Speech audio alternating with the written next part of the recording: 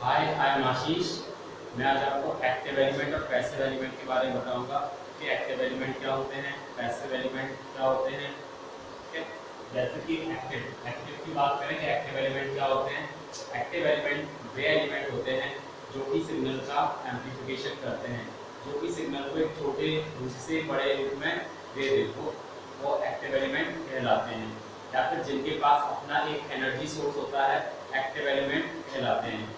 Active element electronics या electrical कोई भी डिवाइस हो सकता है, जैसे कि S C R silicon control rectifier silicon control rectifier एक एक्टिव एलिमेंट है, इसी तरीके से ट्रांजिस्टर एक एक्टिव एलिमेंट है डायोड एक एक्टिव एलिमेंट है जनरेटर एक एक्टिव एलिमेंट है, इसी तरीके से ये जो तीन है पीजो इलेक्ट्रिक थर्मोकपल और फोटोवोल्टाइक फोटोकंडक्टिव ये भी ये बहुत ज़्यादा पूछे जाने वाले क्वेश्चनों में से हैं कि पीजो इलेक्ट्रिक एक्टिव होता है या पैसिव होता है। पीजो इलेक्ट्रिक एक प्रोसेस होता है जो कि एक्टिव है। थर्मोकपल भी एक्टिव एलिमेंट है। थर्मोकपल भी एक इफ़ेक्ट होता है, जो भी एक्टिव के अंदर आता है। फोटोवोल्टाइक फोटोवोल्टाइक भी एक्टिव होता है, जबकि फोटोकंडक्टिव भी एक्टिव होता है। तो इतने सारे आपको एक्टिव में याद रखना है।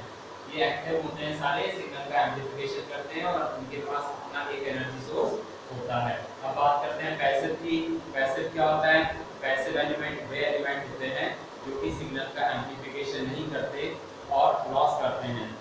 और इनके पास अपना कोई भी एनर्जी सोर्स नहीं होता है। पैसिव एलिमेंट कहलाते हैं। जैसे कि तीन मुख्यतः पैसिव एलिमेंट होते हैं। रजिस्टर, कैपेसिटर और इंडक्टर।